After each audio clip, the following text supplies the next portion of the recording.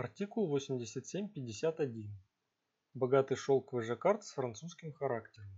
Рисунок выполнен изумрудной и пурпурной шелковой нитью, а для того, чтобы ткань была прочной, добавлен полиэстер. Ткань очень пластичная, при создании драпировки образует формоустойчивые фалды. Благодаря этому можно сшить юбку со встречными складками.